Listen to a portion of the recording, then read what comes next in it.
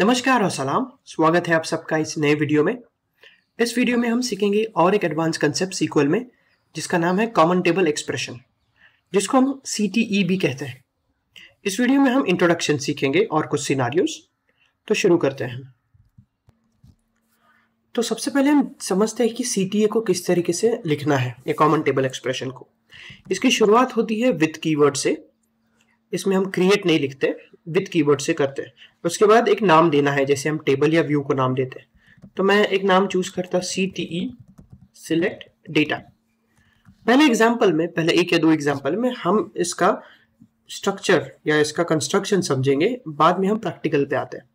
तो with C T select data इसके बाद में एज ब्रैकेट ओपन क्लोज और इसके अंदर आपको क्वेरी लिखनी है, और बाद में फिर आउटपुट पुल करना है। तो दो चीज़ें आपको मैं बताता हूँ कि सीटी में क्या होता है, एक इनर क्वेरी होती है और आउटर क्वेरी होती है। इनर क्वेरी को हम एंकर क्वेरी भी कहते हैं और आउटर क्वेरी आपका एक्शन होता है। इनर क्वेरी में हम प्री प्रोसेसिंग करते हैं, ऐसे कुछ समझ लो। और आउटर क्वेरी में एक्शन होता है उस प्रोसेस्ड डेटा पर या प्रोसेस्ड स्टेज पर।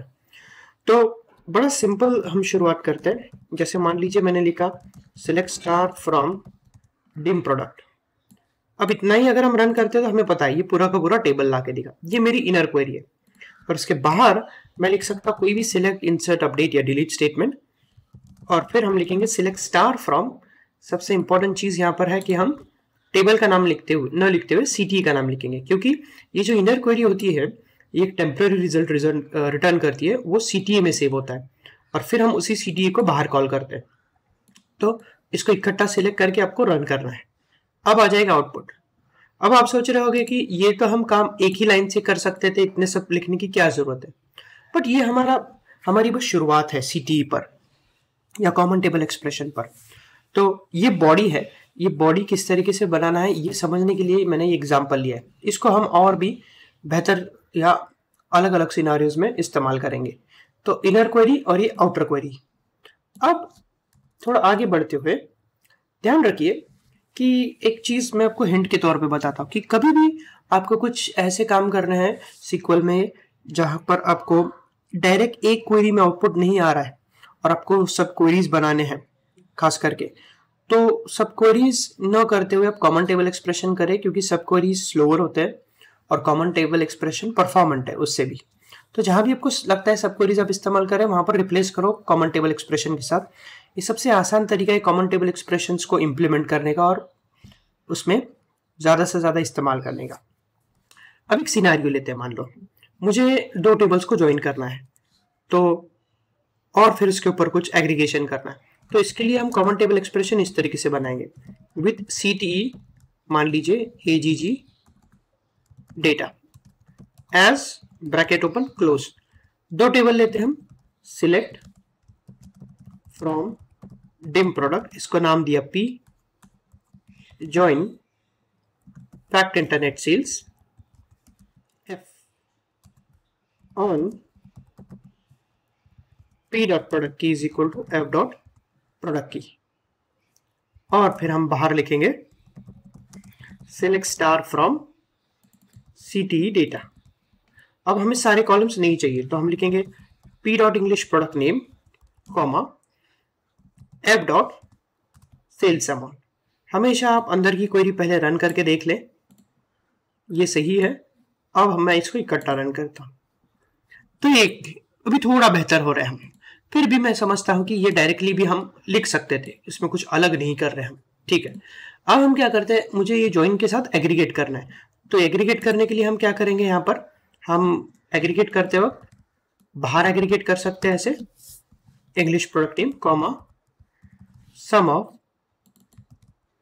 sales amount इसको हम नाम देते हैं टोटल सेल्स और फिर क्योंकि कॉलम है यहाँ पर group by English product name ध्यान आपको ये रखना है कि यहाँ पर हम कोई इनिशियल्स यूज़ नहीं कर रहे, जैसे पी और एफ़ क्यू? क्योंकि ये इनर क्वेरी के लिए था। और ये रिज़ल्ट सेट हमारा इसके अंदर सेव होने वाला है। तो सी को एक टेम्पररी रिज़ल्ट सेट भी माना जाता है। तो ये पूरा का पूरा जो रिज़ल्ट है, इसमें टेम्परली सेव हो रहा है और उसको आप क्वेरी कर रहे हो। तो जब इसको क्वेरी कर रहे हो तो ये पिक्चर से हट जाता है। पूरा रिज़ल्ट इसमें आ गया इसलिए यहाँ पर मैं पी और एफ़ को इस्तेमाल नहीं कर रहा। अब इसको रन कर सकते हैं। तो देखिए अभी, ये जैसे हो गया एक इंटरमीडिएट स्टेज और ये फाइनल स्टेज इसी को आप ऐसे भी लिख सकते थे। आप क्या कर सकते थे कि ये जो है, आप डायरेक्टली अंदर भी लिख सकते थे। यहाँ पर, और ये ग्रुप बाय जो है आपका, अंदर आ जाएगा। और यहाँ पर ये सब कुछ हट जाएगा। बस, हम लिखेंगे सिलेक्ट स्टार फ्रॉम ये, या सिलेक्ट जो कॉलम के नाम है। तो इस तरीके से। तो धीरे धीरे हम इस पे आगे बढ़ेंगे। अभी ये ज़्यादा थोड़ा प्रैक्टिकल हो गया सिनारियो तो याद रखिए हमेशा कि एक तो सब क्वेरीज को हम रिप्लेस करने के लिए कॉमन टेबल एक्सप्रेशन का इस्तेमाल करेंगे, या फिर ऐसा सिनारियो याद रखो कि पहले कुछ आपको प्री प्रोसेस करना है और बाद में उसके ऊपर कुछ काम करना है तो इनर क्वेरी में वो प्री प्रोसेसिंग और आउटर क्वेरी में आपका एक्शन होगा उसके ऊपर। ये चीज़ है। अब दूसरा सिनारियो मैं आपको देता हूँ। अक्सर हम एक ऐसे सिनारियो का इस्तेमाल करते हैं कॉमन टेबल एक्सप्रेशन में, जहाँ पर टेबल में डेटा डुप्लीकेट हो जाता है पूरे के पूरे रोज। और बड़ी दिक्कत होती है उन रोज को आइडेंटिफाई करना और डिलीट करना और मैन्युअली करते नहीं बैठ सकते क्योंकि रोज काफ़ी होते हैं। ऐसे वक्त कॉमन टेबल एक्सप्रेशन आपको फ़ायदा दे सकता है। कैसे? तो सबसे पहले मेरे पास एक टेबल है, उसको देखते हैं हम। इसका नाम है न्यू ई एम पी यहाँ पर मैंने कुछ रोज लिए हैं। अगर हम इसको देखते हैं तो यहाँ पर देखिए तेरह रोज है। यहाँ पर एक से पाँच जो रोज है वो यूनिक है। लेकिन छ सात, आठ, नौ जो रोज है, वो पूरे के पूरे डुप्लीकेट हो गए। पूरा का पूरा डेटा डुप्लीकेट है यहाँ पर। तो ये क्यों होता है? क्योंकि डेटा अक्सर जब लोड होता है किसी ईटीएल प्रोसेस से या लोड से तो हो सकता है कि किसी किसी रीजन से वो डुप्लीकेट हो गया है, दोबारा रन हुआ है। अब हमारा काम है कि इन डुप्लीकेट रोज को डिलीट करना, और ये बहुत ही कॉमन सिनारियो है। तो इसको डिलीट करने के लिए कैसे करेंगे? हमें आइडेंटिफाई करना पड़ेगा कि कौन से रोज एक से ज़्यादा बार आ रही है। यहाँ पर हम इस्तेमाल करेंगे रो नंबर विंडो फ़ंक्शन का। तो ये ज़्यादा प्रैक्टिकल एग्ज़ाम्पल है। तो row number over order by EMP ID अगर हम इसको रन करते हैं इस तरीके से रो नंबर्स आएँगे। लेकिन अब क्योंकि पार्टीशन नहीं था, हर रो को उसने यूनिक नंबर दिया। हमें क्या करना है? अगर एम्प्लॉय रिपीट हो रहा है तो उसका रीसेट नंबर रीसेट करना है। तो इसके लिए हमें पार्टीशनिंग करना पड़ेगा। जैसे हमने पहले देखा है पार्टीशन बाय ई और इसको एक मैं नाम देता हूँ रो नम पार्टीशन की स्पेलिंग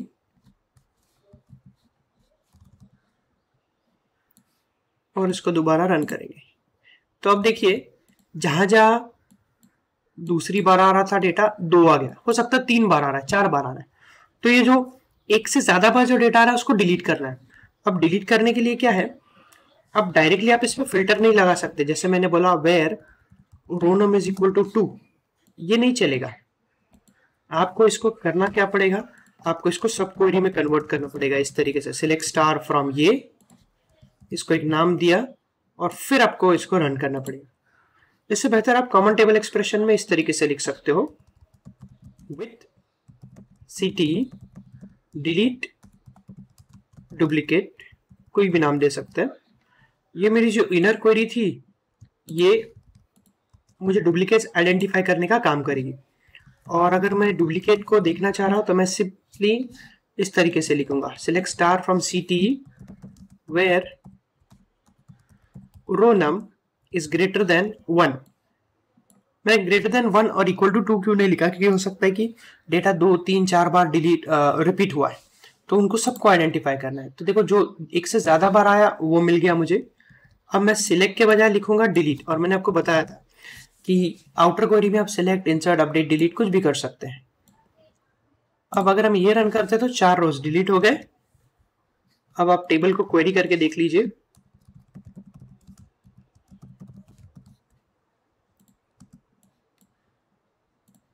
तो अब सारे के सारे रोज यूनिक है।